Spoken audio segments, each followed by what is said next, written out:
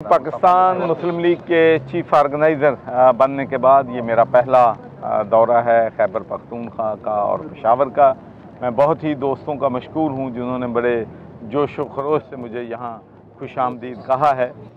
पिछले दिनों यहाँ की बहुत अहम पर्सनैलिटीज़ इज़्ज़त खान साहब आयशा गुलेलाए और बहुत से दूसरे साथियों ने मुस्लिम लीग पाकिस्तान में शमूलियत इख्तियार की थी और आज भी इन तीन बजे हमारी प्रेस कॉन्फ्रेंस होगी, जिसमें दोस्त जो हैं खैबर पख्तूनख्वा से पाकिस्तान मुस्लिम लीग में शिरकत करेंगे और मैं ये यकीन दिलाता हूँ पाकिस्तान के आवाम को कि ये पाकिस्तान मुस्लिम लीग पहली पाकिस्तान में पार्टी होगी, जो कारकुनों की पार्टी होगी। जिसमें कारकुनों की इज़्ज़त मिलेगी, जिसमें फ़ैसले कारकुनों के मशरों से किए जाएँगे।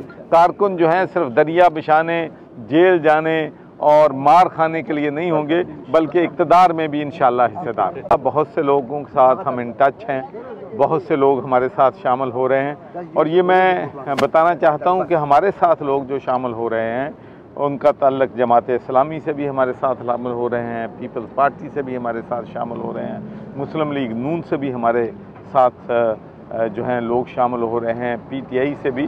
तो हमारा जो दावत है, वो पाकिस्तान के आवाम को है और हम ये चाहते हैं कि रैंक एंड फ़ाइल मेंबर हमारी जो कोशिश है, वो मज़दूरों को, किसानों को, छोटे दुकानदारों को हम उनकी पार्टी जो है, बनना चाहते हैं। क्योंकि ये जो अलीट है, ये पिछले पचहत्तर सालों से किसी न किसी रंग में सेम चेहरे बरसर इकतदार आते हैं।